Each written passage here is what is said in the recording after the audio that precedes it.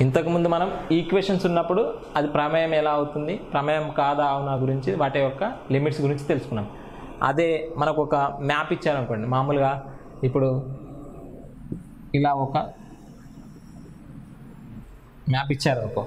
ఎప్పుడైతే ఈ X X axis ఇది వై యాక్సిస్ ఎక్స్ యాక్సిస్ ఎప్పుడైనా ఇండిపెండెంట్ వేరియబుల్స్ రాస్తారు.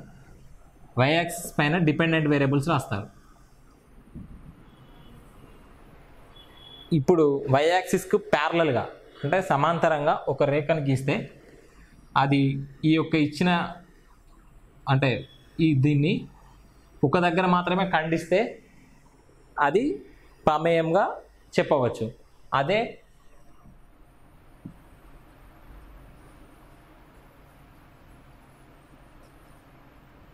వై యాక్సిస్ గీస్తే రెండు అంటే రెండు చోట్ల ఖండించింది కాబట్టి ఇది ప్రమేయంగా గు- ప్రమేయం కాదు.